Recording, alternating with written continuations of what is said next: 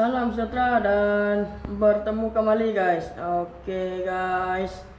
Hari ini saya nak cuba buat eksperimen uji coba uh, membuat umpan guys. Uh, membuat umpan si ikan baung. Nak cuba membuat umpan kucur guys. Uh, seterusnya saya cuba memperkenalkan bahan-bahan yang saya guna guys Okay? Uh, yang penting yang ni pertama kali ni. Uh, ni. Yang paling penting. Ikan seluang guys. Uh, yang ni ikan seluang. Ikan seluang yang saya beli kat pasar semalam. Uh, okey bahan-bahan lain uh, ni cotton ball ataupun kapas. Uh, ni. Saya tak jumpa ke kabu semalam guys. Jadi saya beli yang ni. Yang ni boleh didapati dekat farmasi ataupun dekat market-market macam tu. Uh, dekat shopping kompleks pun ada Okey, yang seterusnya saya guna dua biji telur ayam biasa. Okey, yang ni minyak sapi guys. Ah, yang ni minyak sapi. Lepas tu saya guna margarin. Ah, yang ni garam. Saya guna garam sikit nanti. Dan yang ni Maggi secukup rasa guys. Ah, Maggi secukup rasa. Okey, yang ni bekas untuk saya gaulkan nanti ke semua bahan-bahan ni guys. Ah, yang penting ni bekas ni. Bekas simpan umpan nanti guys ni. Ah, dan yang ni adalah masking tape ah, untuk balut penutup tepi penutup ni guys. Ah, okey. Saya akan cuba tunjukkan macam mana saya buat umpan kucur versi saya sendiri guys okay? uh, untuk cotton ni ataupun untuk kapas ni boleh guna ke kabut juga guys. Kalau ke kabut ada boleh guna alternatif yang lain guys. Guna cotton ni uh. Okay guys. Peringkat selanjutnya saya akan proses ikan seluang ni dahulu. Okay, saya akan proses kalau ada blender nak di blender pun boleh. Kalau nak dicincang halus pun boleh menggunakan pisau guys kan. Cincang halus pun boleh, di blend pun boleh guys. Ini ikan seluang ni. Ha, nanti saya tunjuk yang sudah saya proses guys. Ha, yang sudah saya proses. Saya tunjuk sebentar lagi nanti guys. Saya buat dulu. Oleh kerana kerja mencincang ni ataupun nak bagi hancur ikan seluar ni kerja yang agak kotor okey jadi saya buat di dalam sinki guys. Di dalam sinki dapur guys. Saya akan cincang kat sini. Saya takkan cincang dia halus. Ada bagi dia kasar-kasar sikit supaya ikan seluang ni ada betul-betul sedikit. Nah supaya ada isi lah macam tu okey kejap lagi saya akan tunjukkan hasil ikan seluang yang saya dah cincang guys okey Oke okay guys, yang ni ikan seluang yang saya dah cincang tadi. Saya dah cincang taklah terlalu apa tu? Terlalu halus sangat, ada kasar-kasar sikit. Eh, oke. Okay. Ini dah jadi. Dan untuk makluman juga ikan seluang ni saya tak buang isi perut dia guys. Saya cincang sekali dengan isi perut dia tadi tu. Ha, lepas ni saya akan alih ikan seluang ni ke bekas yang lebih besar untuk proses penggaulan ikan seluang ni dengan bahan-bahan yang lain guys. Ah, kejap lagi saya akan tunjuk juga. Okey, kita sambung guys. Kita sambung. Langkah seterusnya saya akan masukkan ni telur ayam, telur ayam biasa tu. Mana-mana telur pun boleh juga sebenarnya. Telur itik kah, telur ayam kampung kah. Ah, jadi saya cuba untuk menggunakan telur ayam biasa ni yang saya beli kat kedai ya. Saya akan cuba ketuk dan pecahkan telur masukkan ke dalam bekas ni yang ada ikan seluang ya. Okey. Saya masukkan kuning telur dan putih telur sekali. Saya tak asingkan. Ini percubaan saya jadi cara saya juga Ah, bagaimana pula dengan cara rakan-rakan yang lain boleh masuk komen di ruangan komen dalam video nih guys ke. Ah, kita berkongsi cara-cara membuat umpan kucur dengan versi sendiri guys ke. Ah, lepas nih saya akan gaulkan. Sebelum tuh saya akan panaskan dulu minyak sapi dan margarin tuh biar ada bagi cair. Uh, biar ada bagi cair. Senang gaulkan sekali dalam bekas ni nanti. Ya kejap lagi saya akan tunjukkan saya masak yang apa tuh minyak sapi. Saya akan cuba cairkan minyak sapi itu dengan margarin tuh sekali nanti. Oke okay guys, langkah seterusnya ialah memanaskan ataupun mencairkan yang ini minyak sapi, uh, yang ini margarin, Uh, yang ni gas stop saya guna yang portable gas stop. Uh, lebih senang sikit buat kerja. Jadi saya akan panaskan mesin ni untuk mencairkan minyak sapi dan menjerin ni. Uh, sukatan saya dua sudu cukup guys. Minyak sapi dua sudu, margarin dua sudu. Bagi panas, cair, lepas tu tuang dalam bekas yang ada ikan seluang tadi tu. Ha, kejap lagi saya akan tunjuk. Minyak sapi dan margarin saya sudah masukkan ke dalam mesin ni. Nampaknya dah mencair guys. Ha. Minyak sapi saya ambil dua sudu, margarin saya ambil dua sudu tadi guys. Ha, tengok. Mesin dah panas.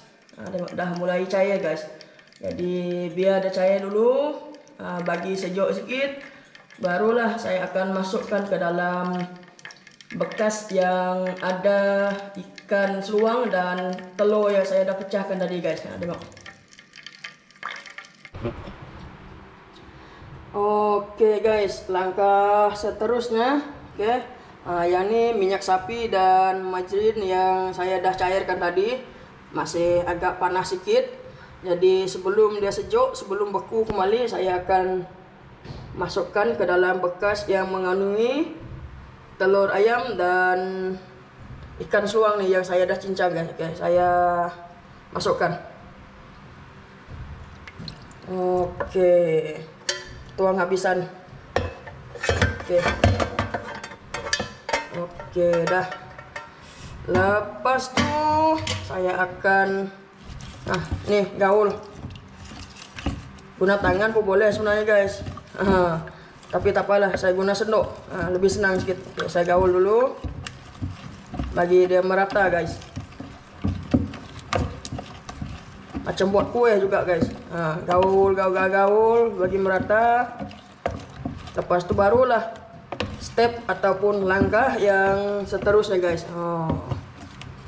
Bau wangi, bau harum. Ni gara-gara margarin dan si ikan sapi tadi tu. Ah, ikan sapi pula tersasul guys. Sorry guys. Minyak sapi. Ha. Okey, saya gaul-gaul dulu. Lepas tu saya akan masukkan dua lagi perencah dia. Yang secukup rasa tu dan garam sedikit. Saya akan masukkan kejap lagi guys. Okey, tunggu dulu. Okey guys, kita sambung.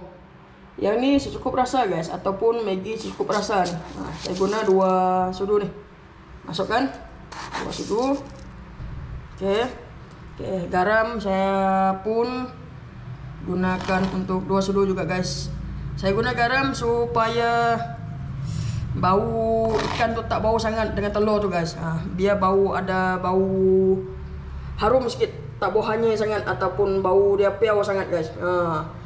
oke kejap lagi. Akan gaul semua bahan-bahan yang ada ni guys Oke okay guys, kita gaul-gaul dulu guys. Biar sepati. Oke. Okay. Langkah seterusnya nanti barulah saya simpan kapas. Uh, saya simpan kapas dekat dalam bekas nih. Uh, Oke, okay. biar sepati dulu guys. Gaul-gaul macam buat kue guys. Uh, mudahan lah umpan versi saya ini nanti guys. Mujarab guys. Dan strike yang babon-babon guys. Si ikan baung tuh oh, ini percobaan saya sendiri guys. Kalau ada yang salah kalau ada yang kurang tuh mohon di komen untuk membina lagi. Supaya lebih semangat saya membuat konten. Terutamanya terutamanya nih konten mancing guys. Oke sudah siap. Kejap lagi saya akan simpan kapas kat situ guys oke guys. Langkah seterusnya saya akan masukkan kapas nih secara berperingkat nih nah, ini kapas nih. Saya akan simpan secara berperingkat jam nih guys. Jangan simpan satu kali guys. Takut tak sebati nanti apabila saya kacau. Nah, ini saya akan gaul gaul gaul nah, saya guna sendok aja guys biar nih air ikan suang dengan bahan-bahan ini meresap ke dalam kapas nih guys. Nah, macam fishbowl guys. Gaul-gaul dulu. Lepas itu baru tambah sedikit-sedikit sehingga ini pekat. Dia punya nih ikan suang nih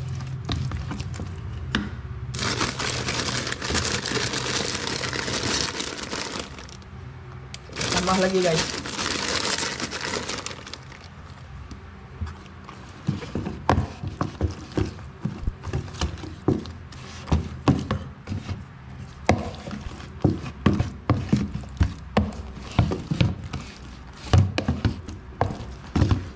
Bekas ini pun berjalan-jalan guys. Sebab satu tangan pegang GoPro. Nah, satu lagi ini digaul-gaul. Jadi bekas ini tak ada orang pegang jadi dia berjalan-jalan berjoget-joget dalam singki nih guys. Apa? Uh, nanti kejap saya akan tunjukkan hasil selepas saya gaul ke semua kapas yang ada nih guys.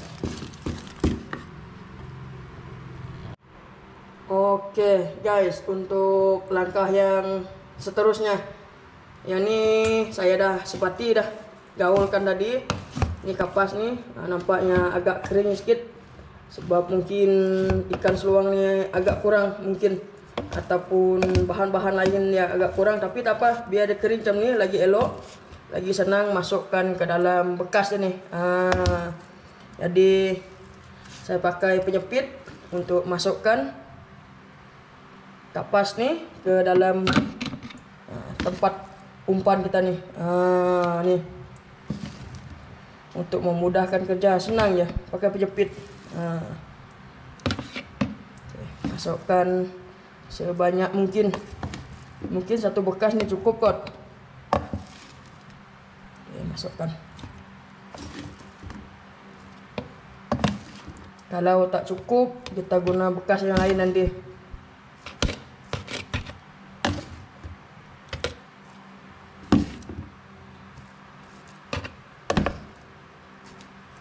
Ah, cukup. Kita bagi padat sikit nah Oke.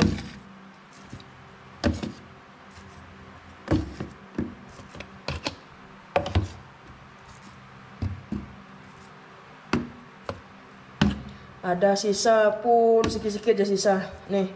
Dalam bekas nih. Oke. Ngam-ngam guys. Cukup-cukup. Oke, kita alih nih. Pergi tepi. Dan nah, nih saya bagi tunjuk sikit dia punya nih uh, keberhasilan guys. Uh, muat satu bekas nih untuk simpan umpan kucur buatan saya sendiri guys. Oke okay, guys untuk langkah seterusnya saya akan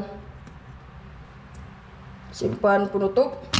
Nah, nih penutup dalamnya dan saya akan simpan nih penutup yang satu lagi nih ikat kunci dengan ketat dan saya akan balut tepi ini menggunakan masking tape yang ada saya tunjuk dekat video yang mula tadi itu. Oke okay guys, saya akan tunjukkan hasil ya. Ah, tepi ini saya ada sealkan menggunakan masking tape guys. Saya ada seal. Ah, ini dua kali pusingan dia punya tape nih, masking tape saya buat. Jadi untuk makluman saya akan perap umpan versi saya sendiri ini untuk seminggu guys untuk tujuh hari saya akan coba prep dan mungkin hari ke-8 ataupun hari ke-9 ataupun bila hari saya ada berkesempatan untuk turun memancing, saya akan turun mancing dan sekian saja untuk paparan kali ini. Semoga bermanfaat. Kalau ada salah silap cara saya membuat, tolong di komen untuk lebih membina. Terima kasih juga kerana sudi menonton dan terima kasih juga yang sudi subscribe channel saya ini guys. Oke, okay, bye bye.